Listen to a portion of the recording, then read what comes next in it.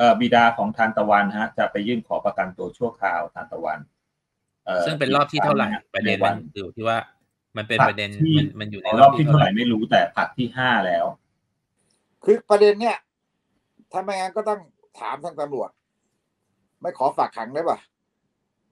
เพราะจริงแต่ว่าตำรวจที่ผ่านมาเนี่ยไอ้การการยื่นขอฝากขังเนี่ยนะ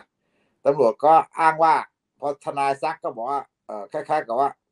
ปล่อยก็ได้อะไรเงี้ย ปล่อยตัวก็ได้ แต่สุดท้ายศาลก็ไม่ให้ประกัน นี่เป็นปัญหามากนะแล้วก็คือข้ออ้างของตำรวจเนี่ยครั้งที่แล้วคืออะไร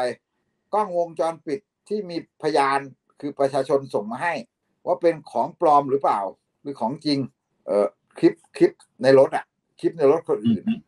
ที่เห็นเหตุการณ์อะอ้างว่าอ้างว่าเห็นที่บอกว่าเห็นเหตุการณ์ตำรวจบอกว่าอันนั้นเป็นหลักฐาน ขอตรวจสอบหลักฐานนี้ก่อน ต้องฝากขังต่อ ซึ่งมันเป็นเหตุผลที่ เอ่อ ค่อนข้างจะไร้สาระมาก มันไม่ได้เป็นแบบว่าคุณปล่อยตัวไป มันก็ไม่ได้บอกว่าตะวันหรือแฟงเขาจะมาทำลายพยานหลักฐานอะไรได้ มันไม่ใช่เรื่องที่แบบว่าจะไปรบกวนพยานหลักฐานได้ จริง ๆ แล้วมันไม่ต้องไม่จำเป็นที่จะต้องขออำนาจศาลฝากขังเลย ระหว่างนี้มันปล่อยตัวได้ อันนี้คือปัญหาที่แบบว่าเหมือนกับมองว่าโอ้เป็นเรื่องใหญ่โตมโหฬารมากนะเพราะว่าแต่มันคือการจุดกระแสทางสื่อที่แบบว่า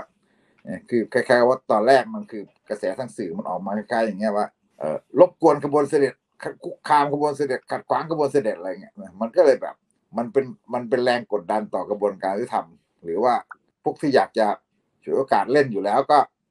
นี่ไง เอาข้ออ้างนี่มาคือคือสังคมประนามขัดขวางกระบวนเสด็จให้ปล่อยตัวไม่ได้ก็มันปั่นกันอย่างนี้อยู่แล้วช่วงช่วงแรก ทีนี้ เราก็หวังว่าครั้งนี้ จะได้ประกันทันทีหนึ่งเพราะความเสี่ยงต่อชีวิตมีสูงขึ้นทุกวันกรณีตะวันมีความเสี่ยงที่หัวใจหยุดหยุดเต้นมากขึ้นเรื่อยๆด้วย